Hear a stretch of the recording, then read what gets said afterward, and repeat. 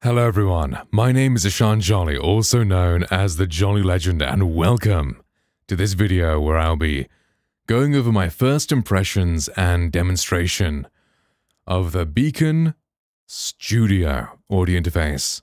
And so far, this is my new king of streaming devices. Right, so here is um, the overview of the settings, which I think is the best processing I have seen on any device. Like, I have my Neumann MT48, which is a. Let's just Google how expensive this is. Um. Which is, um, yeah. This much. I think I bought mine about a year ago for 1500 pounds. Yeah, which um which is very very good for like raw like voice acting, mu mu music production. Like the hardware in that is amazing, right?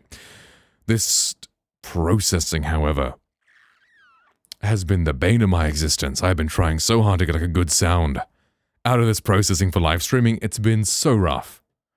And it's like the GoXLR was like really good, right? Like much better than the Rodecaster, much better than most devices. The Rode the GoXLR was great. But this this is better.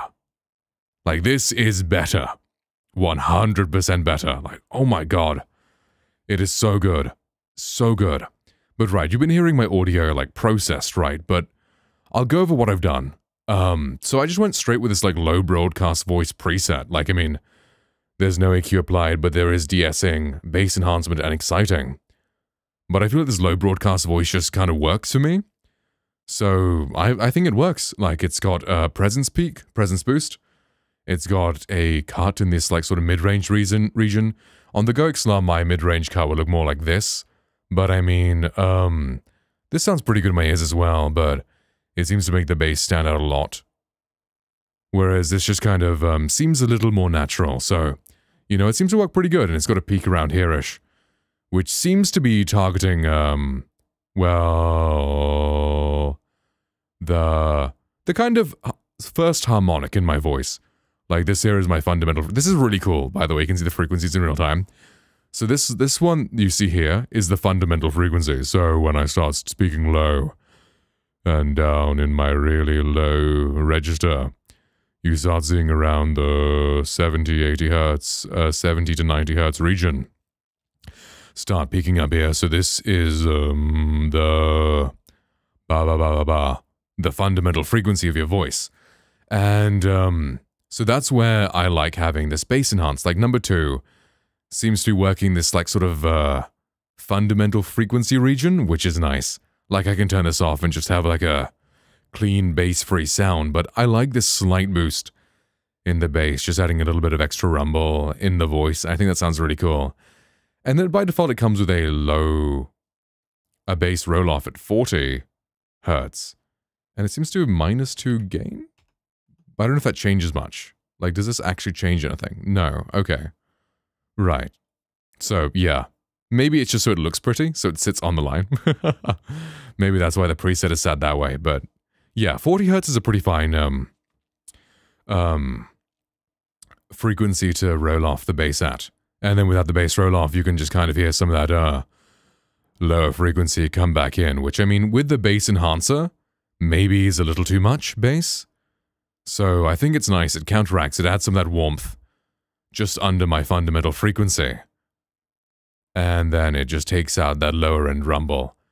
And yeah, this exciter's pretty cool as well. It just adds some nice uh, brightness in the in the upper range. Because that's another thing that's frustrating about the Neumann. Like, uh, the EQ is great, right? But just adding a flat boost in the air region it's like, eh, it's not as cool like an exciter when I'm working with a darker mic like this one, the DPA 2017.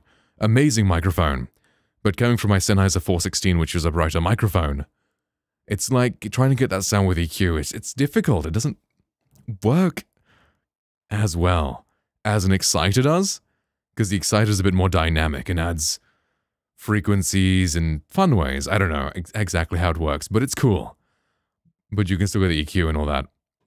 Like that way. And this noise suppression and expansion is mwah, chef's kiss.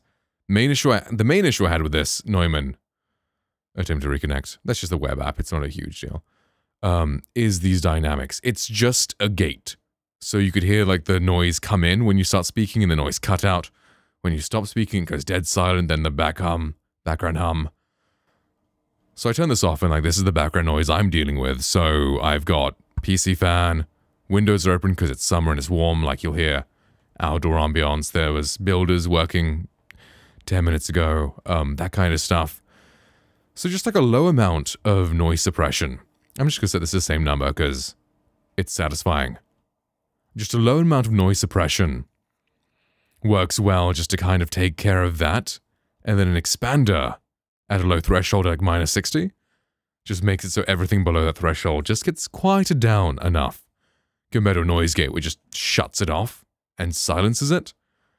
And this makes like a really nice sort of natural sound which is still quiet when I stop speaking. Like it's so nice because having the noise gate in my ears, it's so jarring going from like silence to then speaking with a very small like hum or fan in the background compared to this which is just whew, quiet. But like when I start speaking, it's natural and sounds clean and I love it so much. And the compressor, so much better than the Neumann's, so good. Um, it's on par with the GoXLR's compressor. They're both great. Compression amount 100, that's pretty wild. Um, how does it compare? 50% compression, 100% compression seems similar in my ears. So this is the simple compressor, and this is the advanced compressor. Um, okay, so now you can just set like an attack and release. So how I had it on the GoXLR was like this. Well, I think GoXLR for me was minus 16 and 12. That's how I saw my GoXLR for a very bright, punchy sound, but now it's clipping in OBS. And I think that's fine. Like, I mean, uh, minus 20 and 10 still sounds pretty great. Honestly, the sing the simple works well for me. I think it'll work well for you guys as well. Just if you want my like nice, loud, punchy sound, minus 20 threshold, simple compression amount 100, make it gain 10 dB. So I just get you, you kind of want to make it so like when you're speaking nice and softly, it's compressing a little bit, so like minus 3 decibels. And then when you're like nice and animated and aggressive and boom, bow, then it starts picking up to, to minus 10. So that's how you get your mic set up. So when you're speaking normally, you're just in the middle, and then you start peaking and going loud. But I think this microphone, this preamp has like um, 32-bit or something, so it's doing something. So that it doesn't clip in this, which is really nice. Which is, I'm just, I'm loving this processing so much. And then headphones. I'm using these uh, new IEMs I just got today, these Sennheiser IE100 Pros. They sound pretty good to me. Like, I've been using these Apple headphones just because I've got these nice hi-fi man headphones, but they're heavy and they're uncomfortable. And they're so big, like when I'm streaming, I want my face to look a bit sleeker. So these Apple headphones have been what I've been wearing. And they just don't have much treble, so these are nice. Because I've also these Moondrop Arias, but they are so uncomfortable. And these are like... They're a lot more comfortable than the Moondrops, but not as comfortable as these, uh, the, as the Apple ones. But it's cool, I can add some bass in, I can add some treble in, I can scoop the mids if I want this, like, super crazy sound in my in-ear monitors. I can go for it. And then, like, I've been listening to this Expedition 33. Moi. I just got to the end of Act 1 and damn. With this song. Okay, this is way too basic. and it's cool, I can type in the... Oh god.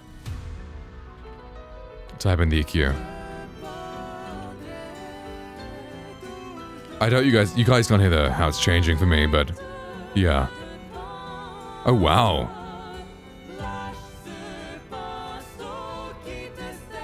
Oh, wow, that's awesome.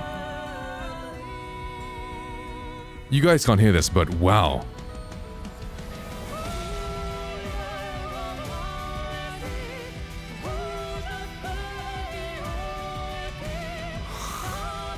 That's so cool. Like, it's not adding too much bass to my voice, but like the bass in the music.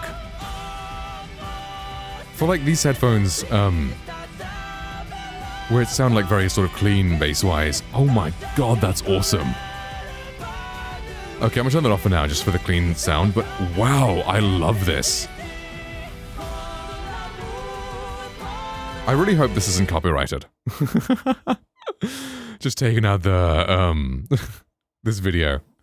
I hope, I hope it's not copyrighted, but hey, okay. Even if it is, they can have the revenue, I don't mind too much. I don't make very much off this, as long as they don't take the video down. But, um, yeah, so this is the microphone. This is the, D, uh, the Beacn mic. The Beacn Mix. The Beacn Studio. With the DPA 2017 microphone. And now, just for a quick comparison, um, I'll have my Neumann MT48 uh, just for a sound comparison. So right now, I'll switch to raw audio and then normalize it so it's a balanced volume. Okay, so now we have raw audio going through the Beacn Studio 1, and this is how it sounds like the noise floor. Sounds like that, and my voice sounds like this. And the microphone sounds pretty clean and good, and I think it sounds pretty great. And now let's switch over to the Neumann MT48, which is a 1500 pound audio interface, compared to this, which is a 250 pound audio interface. So right, let's go and do that. Okay, check, check. So right now, um, I am speaking through the Neumann MT48 audio interface. Very expensive, very high quality, and um, this is how that sounds like completely raw because I will I will not fault this device for its raw audio. It sounds amazing. It's just its processing is like really lacking for me. But hey, this is how the microphone sounds like completely raw through this audio interface and then let's just um I guess we'll show the processing I do. So yes, this is the processing I do with the microphone and I'll try and balance oh wait, that's not going through the audio interface. One second. Okay, and now we have the process sound. So right now, this is um, the compression I'm doing. And if I start getting loud, it starts, it's just like, hmm, a little difficult with that. And now this is some EQ that I've done, um, low cut, and we can compare this to a, we can have a low peak to mimic the sort of bass enhancer, and then do the low cut on the preamp itself, and we get this sound. Um, this is the kind of EQ I've managed to get with this Neumann audio interface, and I can't get it to sound anywhere near as loud compression-wise. In OBS, I had like a loud max plugin and then make that louder. But that's like an extra plugin that I can't hear in my ears, I can't hear how that sounds, I can't hear the balance. So this Beacn audio interface is so nice for streaming. So yeah, this is the, the Neumann's processed audio. And let's go back to the Beacn mic.